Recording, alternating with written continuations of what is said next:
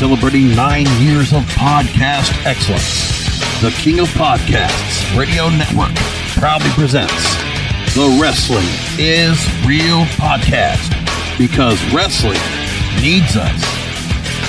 Welcome to episode number 700 of the Wrestling is Real podcast. The show's been on now almost nine and a half years here podcasting for all of you. Initially through kingofpodcasts.com and then I changed to the website to wrestlingisreal.com and it's amazing what has culminated in all this time. When we know that Impact Wrestling was TNA back in the day and WWE was right in the middle of a lot of bad morale anyway we're now back to that again because it just keeps coming back in spurts. And it's really amazing how much growth that the wrestling space has had. Because remember, we had the returns of MLW, we have the NWA, and the turnaround from TNA into the transition from Impact Wrestling as a re- as a wrestling show into the entire name of the promotion altogether.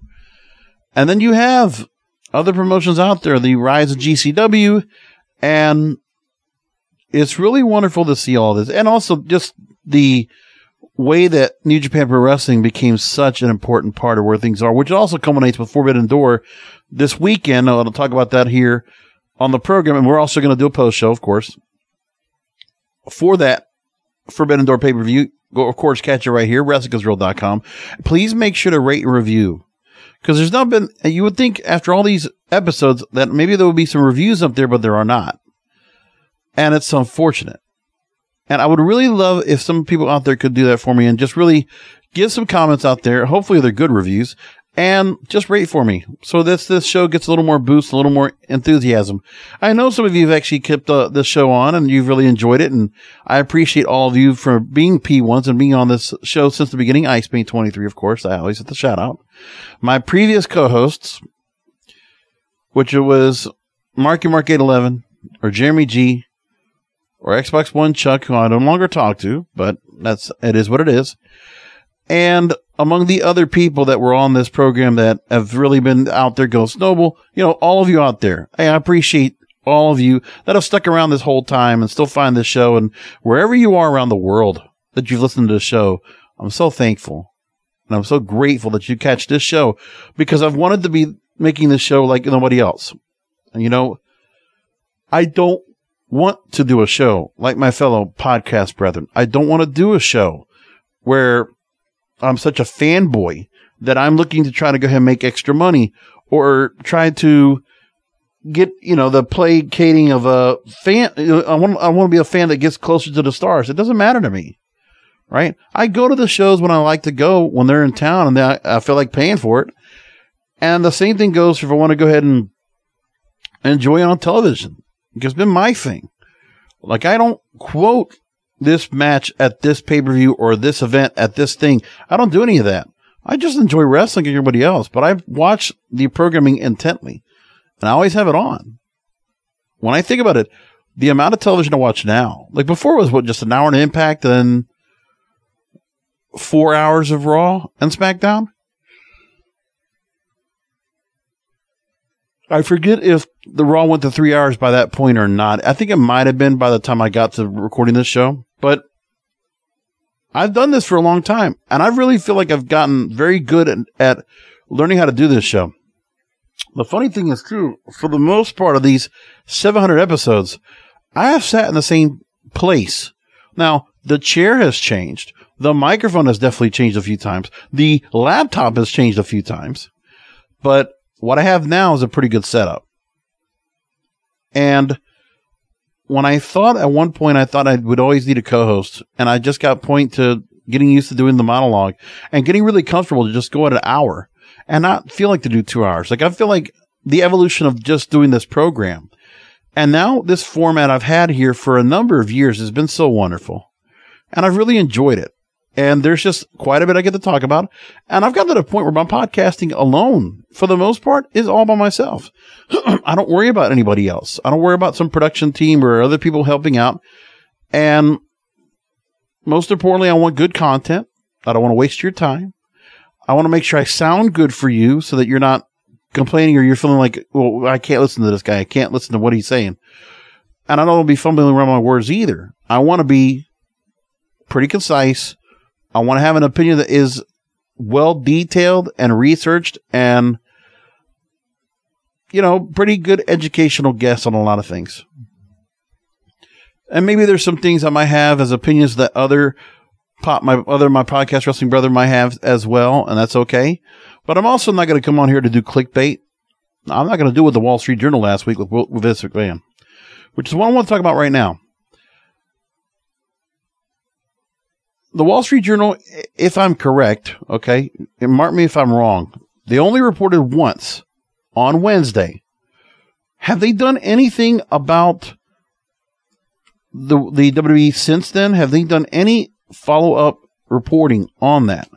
Has there been anything? I'm looking right now. Can anybody tell me if they did? No. As far as I know, I don't think they have. I'm going to look and see if there's any other news that have been done at this moment, but it doesn't look like they have. If I just do a search for WWE right now and see what happens, and so let me see if anything pops up. Well, the moment they have a podcast called The Journal, right? And that's it.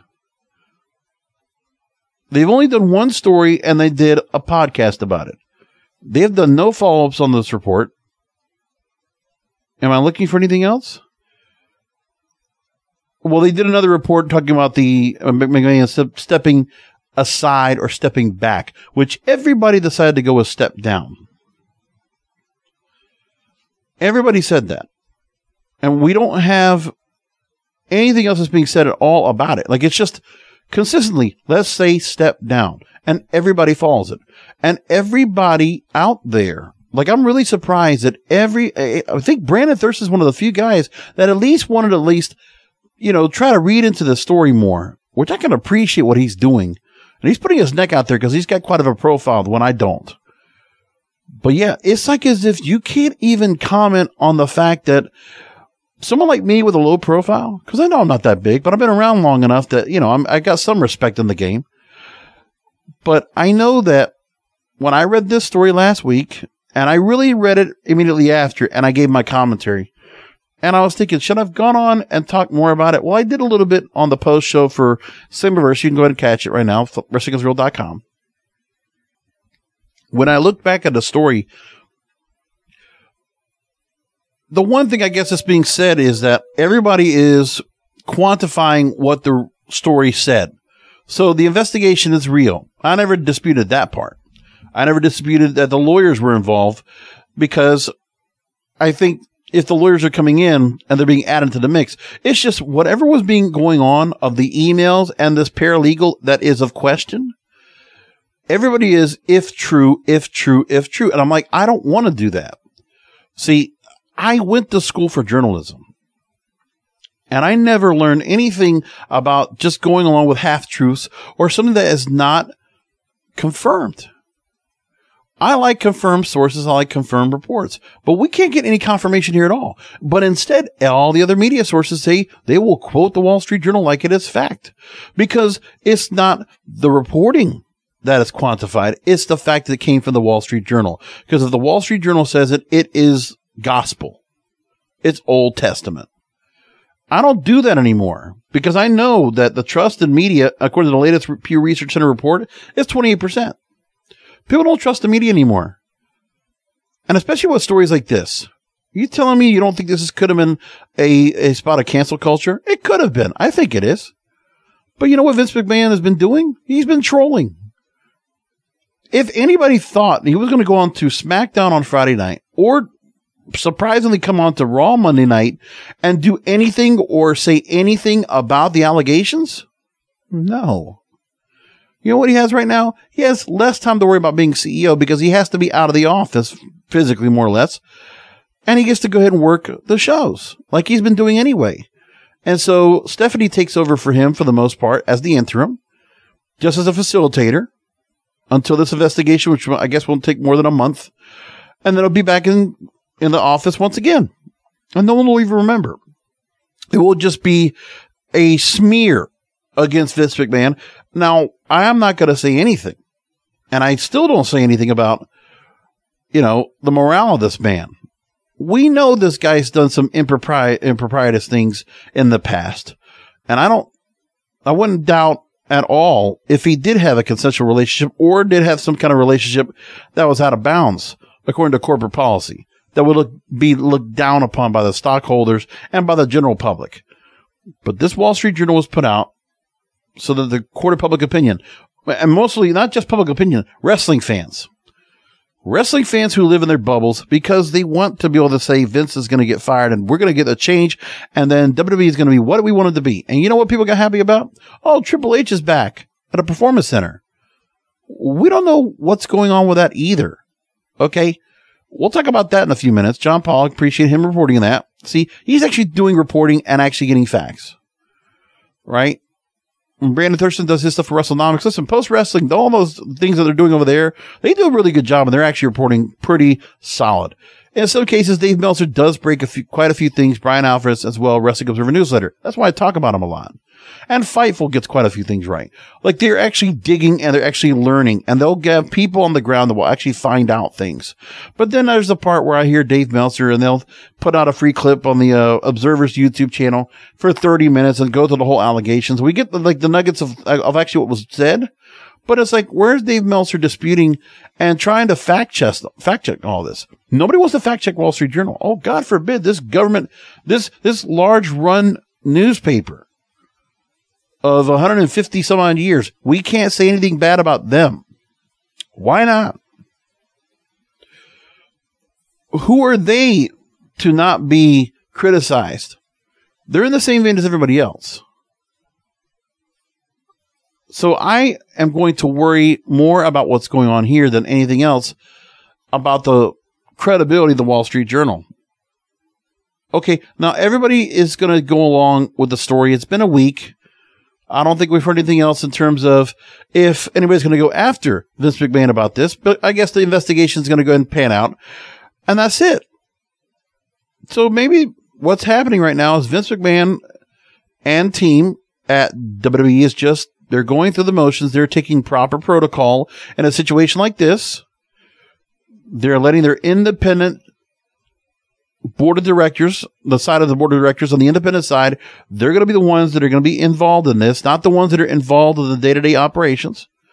So they're going to leave it as an open investigation as much as they can, a third party of attorneys that will come in to work on this. And WWE is going to give, complete transparency as much as they can. And that's it. So people are going to keep talking about this. And Vince McMahon is just going to say, and what? That is what he did. He didn't say anything in particular at SmackDown. He didn't say anything in particular except for the announcement that John Cena is going to celebrate 20 years at Laredo, Texas next week on Raw. Okay. That should means ratings because then both shows broke 2 million viewers. You know what happens next week? They're going to break 2 million viewers, both shows. That's called turning bad publicity into good publicity. This big man doesn't even give a shit about the allegations.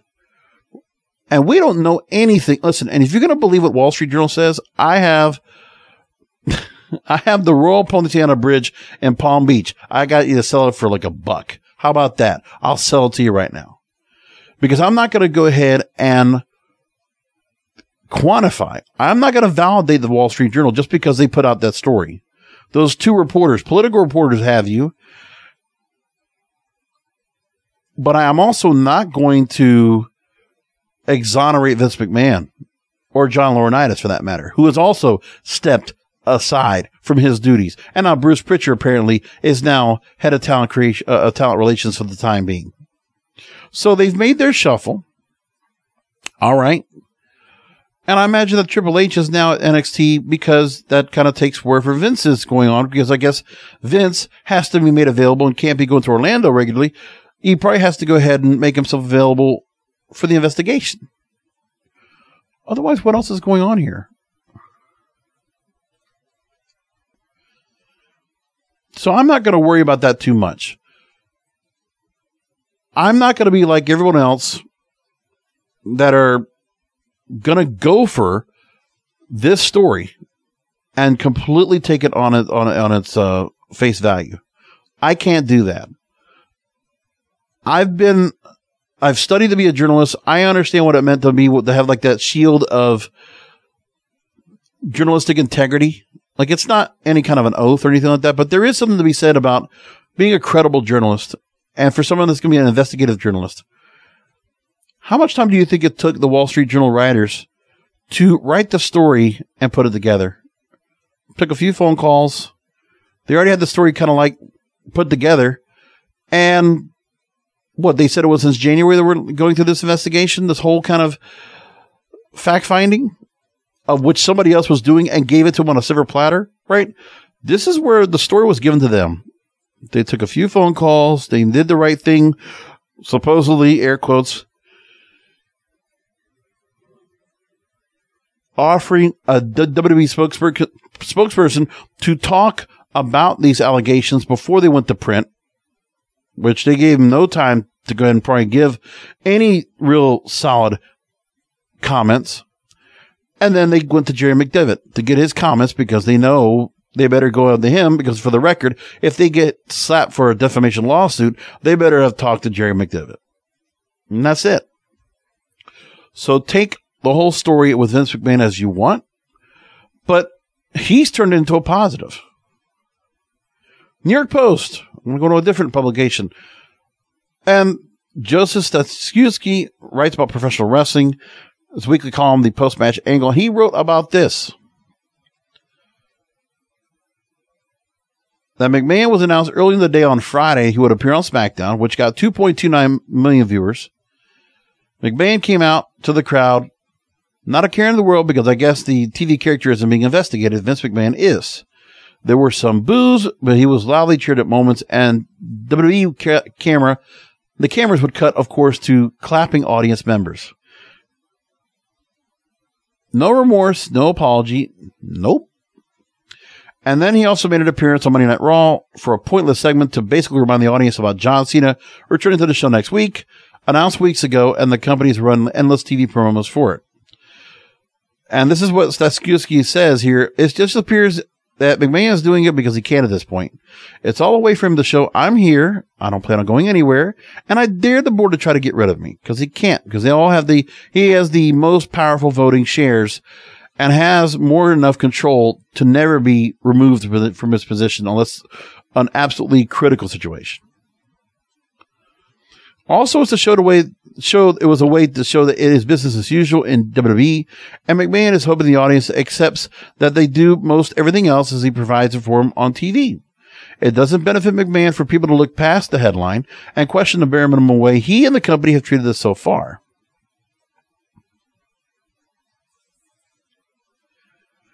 Fightful Select and PW Insider both reported that talent were informed Monday night that Bruce Prichard is now interim head of talent relations, Laurinaitis, who hasn't been at a WWE event since the allegations, was placed on administrative leave, and there was no clarification on his current job status when the post requested prior to Monday's Monday Night Raw. He goes on to say that you would think, given the seriousness of what McMahon and Laurinaitis are accused of, and the fact we haven't gotten a public denial from either, we still don't have that a week later that more action would have been taken by WWE. But that's because I think there's nothing more serious to this. This is a hit piece. It was calculated. It was scheduled. They could have dropped it at any time. Any time. McMahon has already pledged complete co- cooperation, we know. We know that Stephanie is now interim CEO. Nothing to see here because McMahon can't afford to lose the audience or confidence in company stock, which has been trending upward to the report and took a small hit. So even now, if you look at the stock market price, hasn't taken much of a hit at all. Um, I haven't checked what it is today, but let me just check real quick what they have so far. Well, I mean, still remember the market's completely down bad anyway, but if I look at the five day average, yeah, it's taken some hit, but not even close to what it could have been. Like it's not going horribly bad. It was at 65 on June 15th, which is a week ago. It went up to 68 at the highest, and now it's down at 60. So past five days, it's gone down 7%. So I go back a month. That's even not much difference than what it was a month ago. Because a month ago, May 23rd, it was at 61.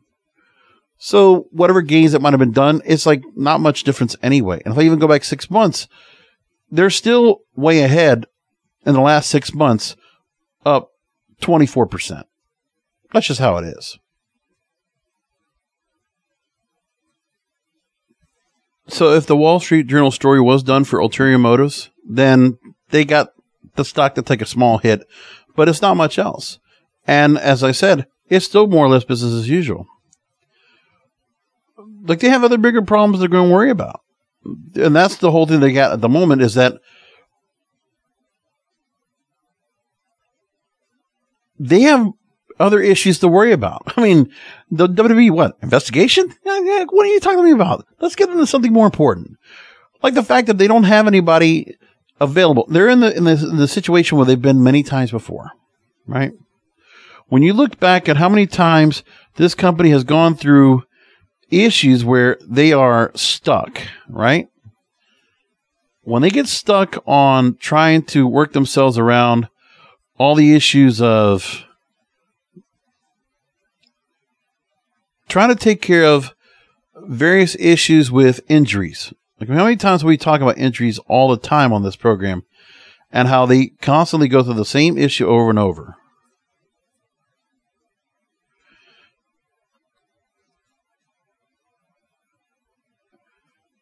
I can go back many times. As we know right now, we're having this current issue. But if I go back,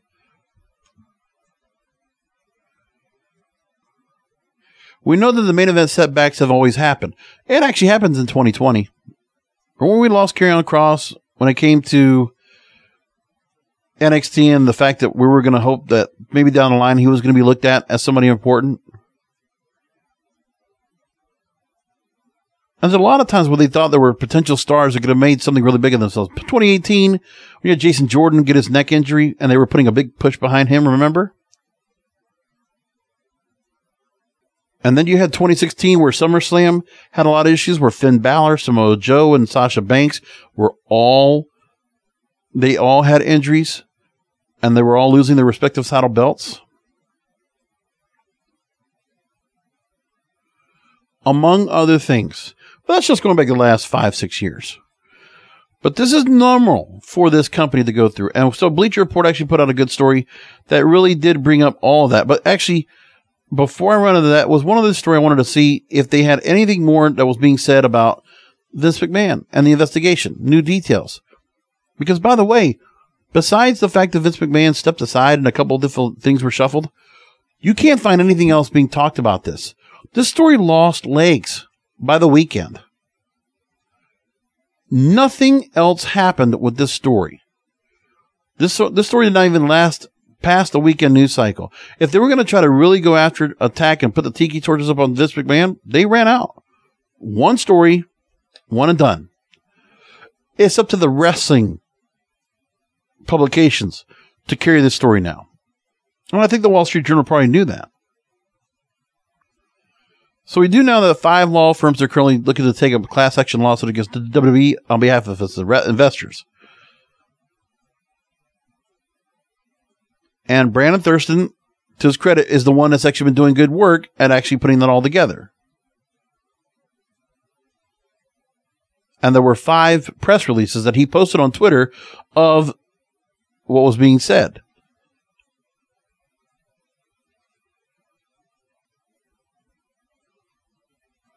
And there's been nothing else since. I wanted to just make sure, and this is from an iHeart radio station website that talked about it, and that's it. We didn't have anything else that was being brought up at all. That's when I just wanted to go back and look if there would be some follow up. Normally, you would have follow up after that. There was nothing. Like, I really feel like this is a non story. I know some people are going to take this so seriously because you know, I, I do believe wrestling fans sometimes forget what real life is because we're always stuck in this world of fantasy and this whole storytelling and how things are in the WWE universe and how we can't really separate fiction from reality. I understand that part. I don't blame them. I don't blame the fan cast out there that are doing the same thing. Or they're doing it on purpose because they know it causes clicks. It gets people to go and listen, to, uh, watch their YouTube channels and their commercials every five minutes because they on purpose set the commercials at full load if you're watching their show. Plus, they make sure not to even edit the show down for you. They just leave it fully raw. So you have to go and scroll through. And for the fact that there are tens of thousands of people that will do that on a regular basis tells you something. Wrestling fans have patience and they believe a lot. And they can be had, just like anybody else. So anyway, I was going to talk about, like I said, Bleacher Report and the injuries and the creative bankruptcy, they call it, forcing WWE to go back to their part timers as they always do. So, no Randy Orton, no Cody Rhodes for the summer.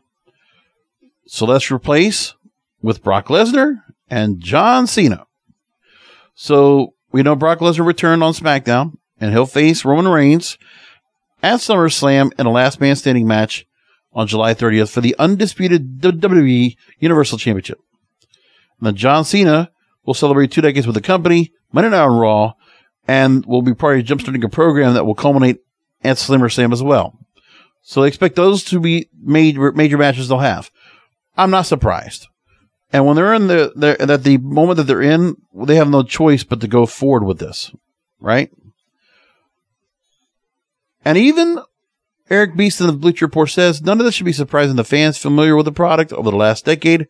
What will this most recent run have in store for the returning icons and the fans who tune into the company's television programming? Well, they actually go back pretty comprehensively. 2011, we know that WWE was not the career making, star making machine it was in previous years, but I've talked about that on previous episodes. You know, I have. If I can go back really quickly and tell you where I talked about it, I will do that for you right now. I go back to episode 630, back in August of last year. I talked about how WWE creatively controls the pipeline to the Hollywood vacuum because they have all their stars that are being made so big. Because when they do make stars, they make superstars and not just superstars that stay within the realm of the WWE universe. They go out to Hollywood. As we know right now, Roman Reigns most likely is being looked at right now with his agency, with agents in tow, trying to get him some movie deals or some projects we can work on.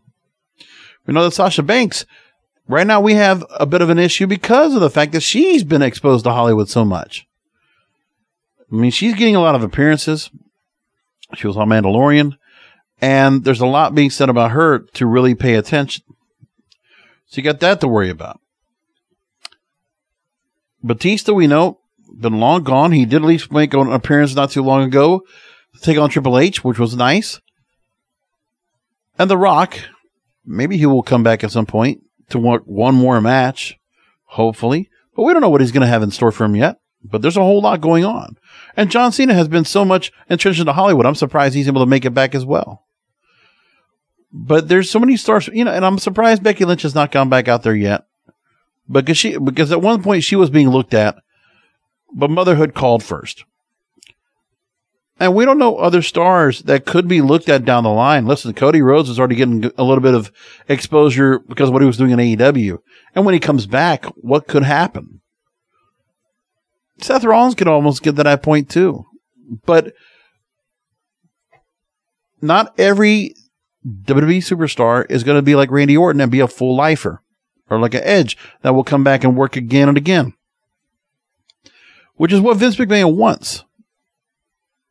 But that's not what he's going to get because of what's going on right now. And this is why in 2011 they stopped doing that because of what happened when you look at what's going on with the stars that were starting to be made pretty popular, you know, when you start seeing the likes of, I mean, there wasn't so much where you had any kind of around to the point where all these stars had some other places to go. Because remember, the other thing too that they didn't have to deal with back in 2011 was there wasn't any real competition of what of what people could go after, right? I mean, a lot of older stars, the same Bischoff Hogan thing that was happening before in, in WCW happened again.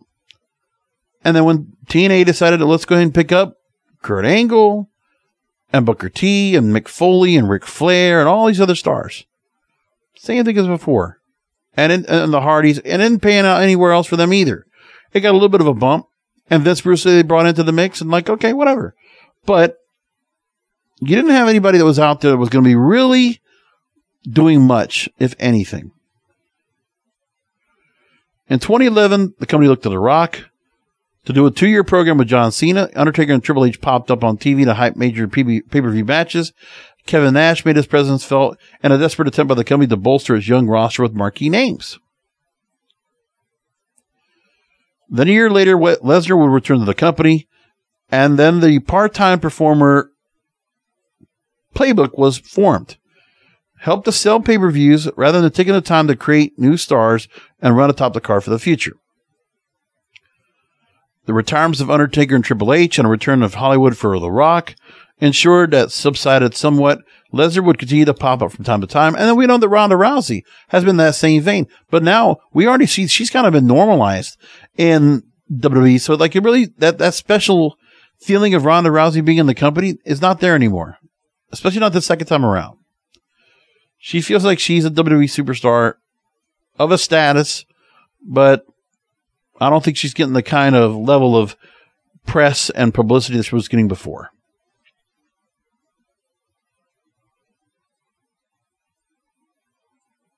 And since 2011, we know that John Cena, you know, there was a point where WWE was trying to go and create their own platforms to be able to control what was being done. So that's when you had all those movies going on by the studios, right? And they tried to do something like that.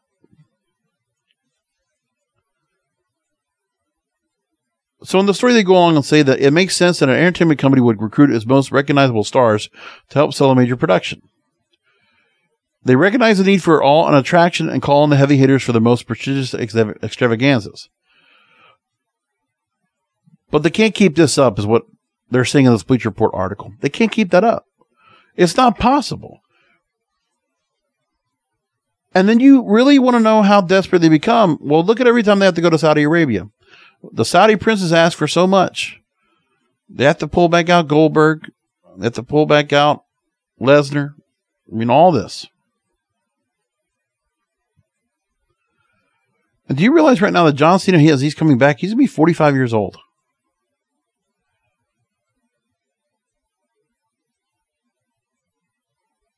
And so there's great to see him back here.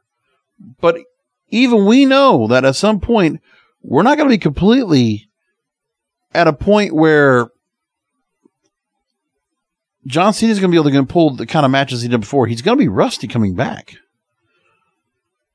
I mean, the, to expect him to have the same level of performance he's always had, that's going to be asking a lot of him. Because, I mean, he is getting older.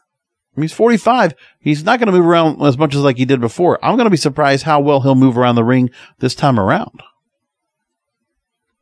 Plus, what he's going to be able to do because he has to make sure he keeps himself healthy because he can't get keep can't be getting himself injured if he has other projects in the queue. So now there's a thought that uh, that Theory might be the next person that's going to confront John Cena, and that's where we're going to go with things with Theory because Theory is one of the breakout stars in the company, and he took to his Twitter account in connection with a recently released photo shoot to taunt Cena. And what he did was, is he dressed up like John Cena. He wore the Thuganomics chain, he wore the United States Championship, and he was showing himself with a different with a spinner belt. Like he did all that simply to taunt, which will be shown later and look, there Theory's working well, man. It's not bad. He's a 24 year old. And he being put up against the biggest star the company's ever produced in the Attitude Era would be a great move. And that will help a lot.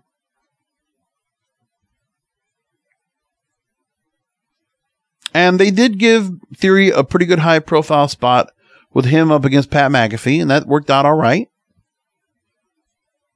So don't get me wrong, there are stars being made. I will continue to say over and over Bianca Belair is is a shining light right now. She is shining right now.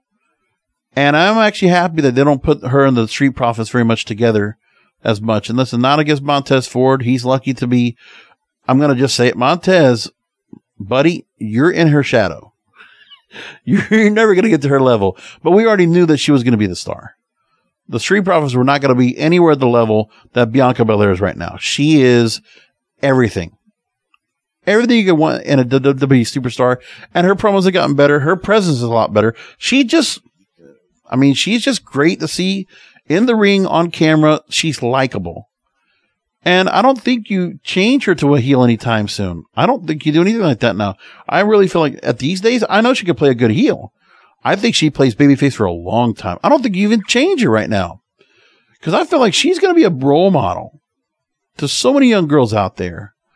I mean, talk about the success story of, you know, well, I mean, she's been successful in so many different places where she's gone in life anyway, from her track and field work to here now. And talk about an ambassador to the company, a spokesperson. Like that's, you can't, uh, in the women's division, you can't ask for better. You just wish you had more Bianca Belairs out there. And now Rhea Ripley's kind of gotten hurt and they're put her in a good spot with Judgment Day, but now she's got a brain injury. It looks like it's a, there's some serious issues there about what will happen with her and where things are going to go next. But at the moment, we don't see where any stars right now. There are there are no other stars that can help to boost up younger stars. Now, don't get me wrong. I still think WWE's been doing a good job of trying to build other stars anyway. They've been trying. I really believe that. And you see that especially on the Raw side. I mean, you could say Riddick, uh, Riddick Moss as Madcap Moss. You could say that with him and Happy Corbin to a point. And you could say there's the same thing right now with Raquel Rodriguez pairing up with Ronda Rousey in a match. You could say that. But there are not a lot of new stars they're looking to bring up. But remember, we know why. Because they have changed course with the kind of stars they're bringing into NXT we haven't talked about that. And their numbers have been okay. The NXT numbers for 2.0 have been over 600,000 pretty consistently. So they're not hurting right now. The change that they made to let go of all those other stars they had that were in NXT for a long time that, that Triple H did bring up, that taking the indie wrestlers and polishing them up did not work, and not many of them made it through into the main roster.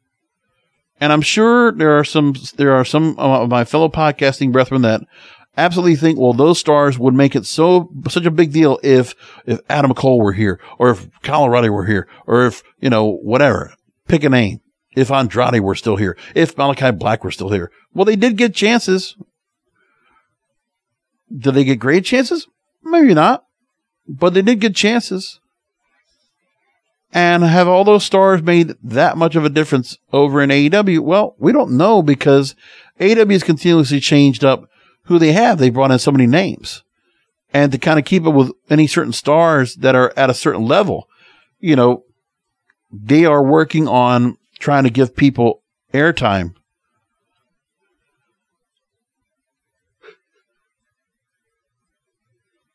in a time where they have so many stars on the roster, so much great talent, but they don't worry so much about making sure that talent has to be on there every week like WWE does. Because the other companies themselves don't do that either. All the other wrestling companies, well, you know what? Except for the exception of Impact, Impact does continue to keep certain stars out there all the time. They're the only ones. But every other wrestling promotion on TV, MLW, NWA, they don't, as far as I know, and as, as far as I've seen. But when you look at what they're doing right now with Raw, look, they've given Liv Morgan chances to be in there, and they put her in the five way match. And then Omos has also been out there. Now we don't talk much about Riddle, but Riddle actually has been quite well up in the mix. They did have him lose to Omos, But now we know that Riddle and Seth Rollins are going to have a program, which is a good move. Seth Rollins working with Rollins, with Riddle will be good. I believe that's actually going to work out pretty well. So if you have those matches coming up to Money in the Bank, or going after Money in the Bank, and you're going to SummerSlam with that, where you have Reigns, Lesnar, Theory, and Cena, and Reigns and, and Rollins and Riddle. That's not bad. At least you got a couple of younger stars in the mix you're trying to bring up there. We know Bianca will have a title match. We know that uh, Ronda will have a title match. That'll build up that card okay. That's that's going to be okay. They're going to find their way through. Right now, Bobby Lashley's dealing with Theory. We have that going on. And, you know, yeah, we could go ahead and say that the whole pose down thing was not anything special, but they're working off of it. It's a way to kind of work something there.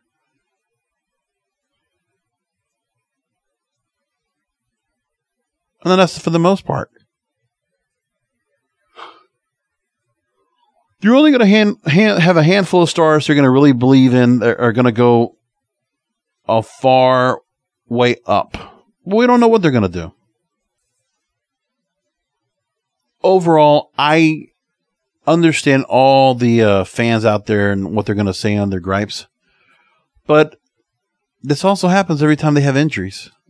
I mean, Randy Orton was going to be in some match, and everybody was going to probably complain about what they would have to do with him, obviously. And with Cody Rhodes, you know, being that fresh face that was into the mix, that would be somebody that was definitely going to be brought up. Listen, they did the right thing by Cody that eventually we'll see him next year after the pectoral injury heals and he's able to recover and recuperate. That I think he's going to be a pretty big star coming back.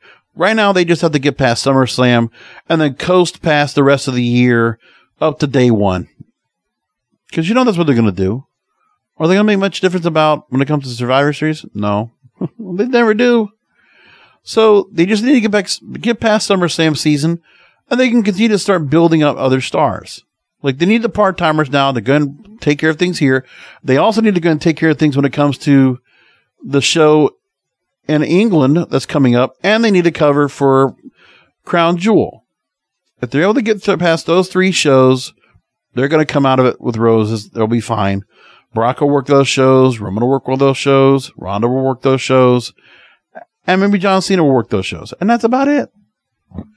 So if they're able to go and cover through those couple of months like that, that covers the rest of their year and they're just fine. Meanwhile, AEW has a different direction. So I feel like AEW right now is doing what Ring of Honor did with the New Japan Supercard. They're at that level now. And I don't know, I mean, the opportunity presented itself for them to go and do what they're going to do at Forbidden Door anyway, which is good. But we know, just like the Supercard,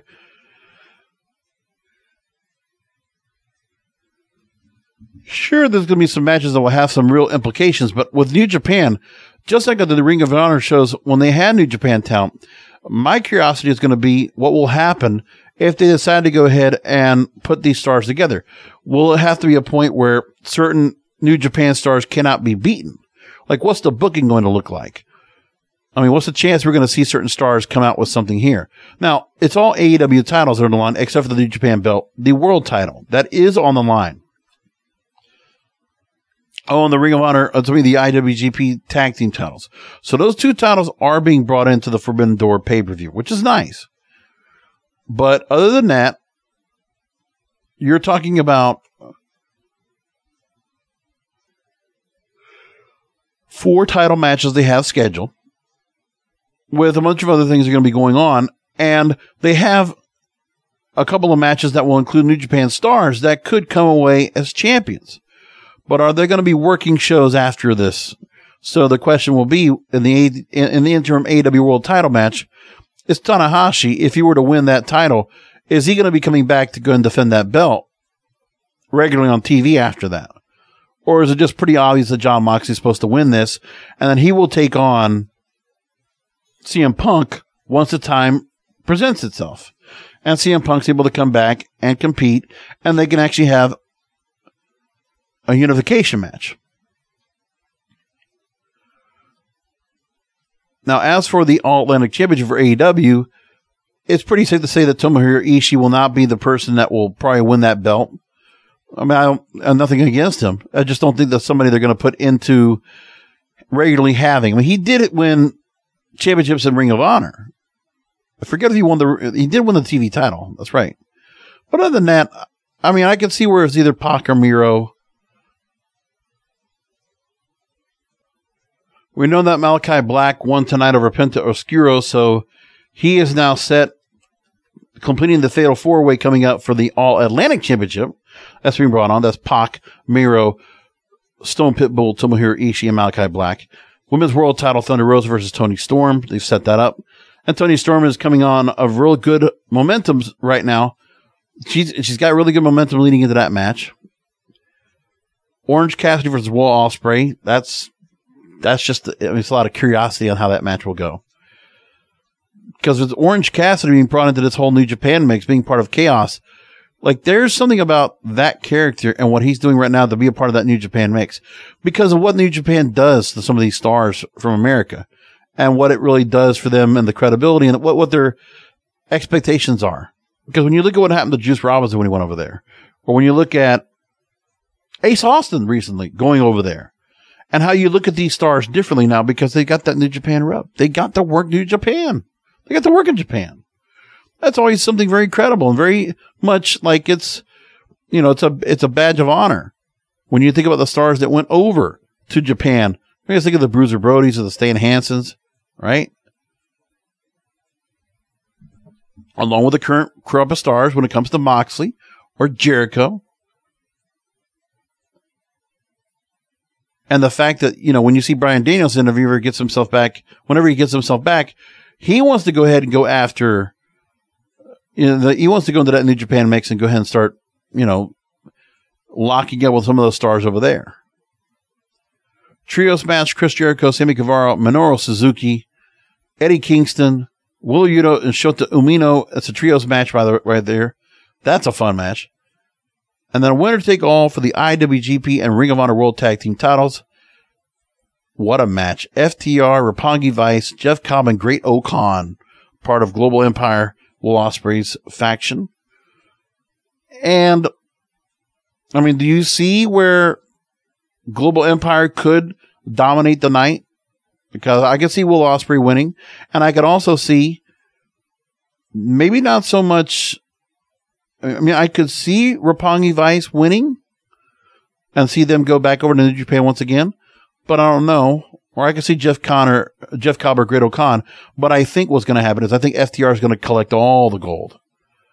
And so I think we're going to see FTR have to go to Japan and defend the IWGP tag team titles. Because as we say, man, FTR, one of the best tag teams in the world right now, bar none.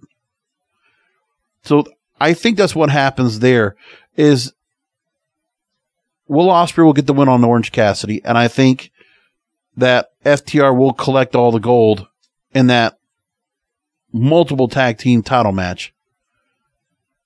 When it comes to the All Atlantic title, I think Miro will be the first All Atlantic champion, just like he was one of the first TNT champions. And I think Moxie will beat Tanahashi. I don't see where they're going to have Moxley dropped the belt and then Tanahashi's going to go. I just don't know what they're going to do with that. I think Moxley is going to be the one that will be brought up against CM Punk, and we'll have a great match with those two coming up. That's where I think things go. So we're going to wrap things up. We're going to talk about Money in the Bank real quick as what they already have so far scheduled for that pay per view coming up the following week. So we'll talk about that for a second. The matches so far scheduled Raw Women's title, Bianca Belair versus Carmella. And Carmella getting the win in a fatal five way. So take that as it is. It's something that they did for the show on Raw to give a reason for people to watch. And they started off the night with that, which was okay. That made sense.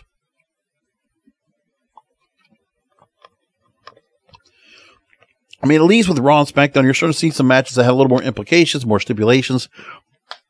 Not so much all these championship contenders matches all this stuff that was kind of very blunt, bland, and boring. Like it's still not great, but it's better than it has been. SmackDown Women's title, Ronda Rousey versus Natalya. But what they need to do in this match is they need to bring up the fact that Natalya helped to train Ronda Rousey into the wrestling world. Because nobody's talking about that, but we need to have that story told. I hope they do it on Friday because they haven't really taken much time to talk about it. And the fact that Natalya and Ronda Rousey were fast friends when they first, when Ronda first came in. They haven't discussed that. I hope they do something with that. U.S. title Theory versus Bobby Lashley. They'll set up for that. They've done taken a lot of time for it, and you know, I don't see where Theory's going to drop the belt. I just wonder how they're going to get him to win over Lashley. That's what I want to find out. The undisputed tag team titles, they're actually going to put those on the line. Usos against Street Profits. And then you have the two Money in the Bank ladder matches. Lacey Evans, Alexa Bliss, Liv Morgan, Raquel Rodriguez, and Asuka have already qualified so far. We don't know who the qualifiers are going to be for that last spot. But I imagine Becky Lynch has to be the one in that match somewhere, somehow. I don't know what they do with that, but they've already run Raw. I mean, they have time. Like by Monday night, they probably could have a match where Becky Lynch has to win her way in some way, somehow. Like that's going to be something they have to do here. And the Money in the Bank ladder match for the men, you got Seth Rollins, Sheamus, Drew McIntyre, Omos. And if that's it, they got to have probably two more names. And I don't know who that's going to be yet. I'd imagine, you know, and then when you look at the inside track of who should be winning these Money in the Bank ladder matches, who should be getting the briefcases, I can understand where Lacey Evans gets the argument, and I can see where Liv Morgan gets the argument. I think they could probably do something like that. They don't usually have a problem having a face win that briefcase. On the men's side, I could definitely see Seth Rollins winning it again. And that would be good for him to go and take that belt back off of Roman Reigns if that's the case. And that storyline already tells itself. Drew McIntyre winning it could also be the option but I don't know who you're going to have left that's going to go into that Money in the Bank ladder match on the men's side. Don't have any clue about it. So we'll find out. So we know that Forbidden Door is coming up this weekend. We'll have that coming up right here, WrestlingIsReal.com. Come back for that. I'll keep it short tonight. I made all my points. I've covered everything I wanted to cover. So thank you for listening in. Thank you for being here for episode number 700 of the Wrestling Real podcast. I really appreciate all of you being here. I hope you'll continue the ride with me because the next big milestone is the 10th anniversary coming up.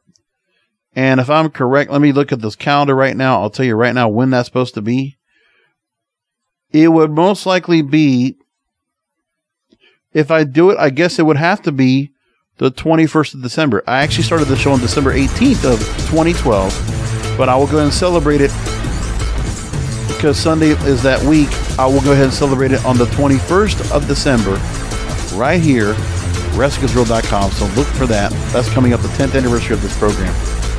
In the meantime, we'll finish 700. 701 will be the Forbidden Door post show. Enjoy Forbidden Door this weekend, folks. Come back for another Wrestling is Real podcast because wrestling needs us. Thank you for listening to the Wrestling is Real podcast. You can find all previous episodes at WrestlingIsReal.com or subscribe to the show on all major podcast outlets, including Apple, Amazon, Google, Spotify, and iHeartRadio.